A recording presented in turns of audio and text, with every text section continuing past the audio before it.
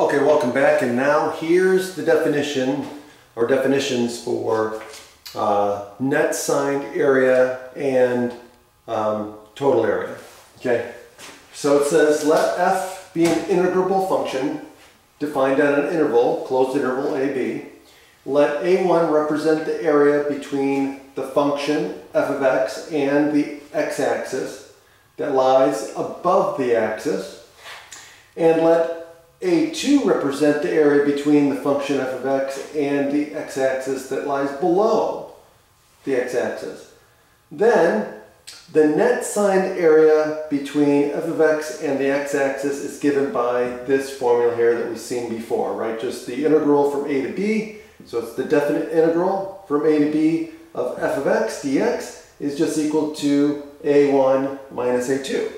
Okay? So we take all of the areas above the curve, subtract the area below the curve. The total area between the function f of x and the x-axis is then given by this formula, which is, all we do is put absolute value signs because we want to make all the negative, all the, the uh, we want to add all of the areas that are below the x-axis. And so we're going to take the absolute value of the function from a to b okay, on that closed interval. So that means all, we're going to add all of the areas. So then it becomes A1 plus A2. And that's it. Have a great day.